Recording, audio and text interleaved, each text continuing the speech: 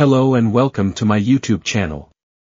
Today, I will be sharing a tutorial on how to reset the password of a Hikvision NVR using the HikConnect application. First, let's access the NVR menu.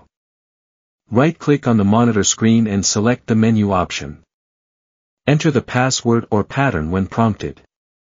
However, since we don't know the password or pattern, we will proceed with resetting the password.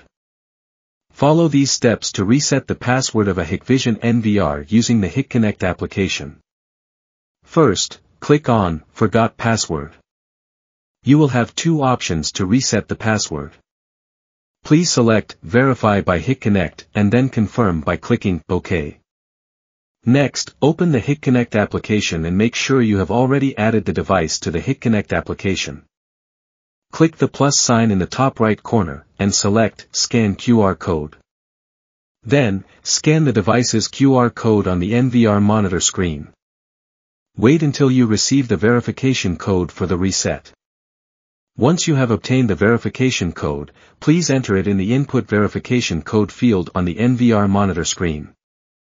Make sure to enter it correctly, as uppercase and lowercase letters matter. Then, click OK to confirm.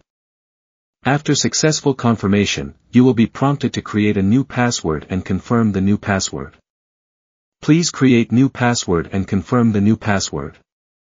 Make sure your password includes a mix of upper and lowercase letters, numbers, and special characters. Avoid using easily guessable information.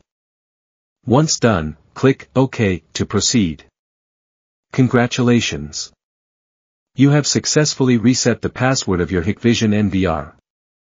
Now, you can try logging into the NVR system with your new password. Enter your new password, then click on the login button. Congratulations! You have successfully accessed the NVR system with your new password and pattern. That's it. How to reset the password of a Hikvision NVR using the HikConnect application. We hope this video has been helpful for you. If you have any questions, feel free to ask in the comments section below. Please remember to subscribe to my channel, give it a thumbs up, and share it with your friends on social media.